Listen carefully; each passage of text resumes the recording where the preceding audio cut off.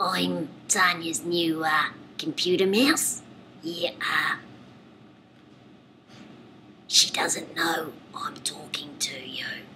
No, uh, I, I thought maybe we could have like a little private chat. Yeah, because, um, you know what storytellers are like. Yeah, they don't always tell the whole story. So, uh, I thought I could update you with regular, yeah, regular kind of like, uh, like blogs. But, oh, they're like blags. Oh, here comes somebody. Uh, I'll be back soon. Bye.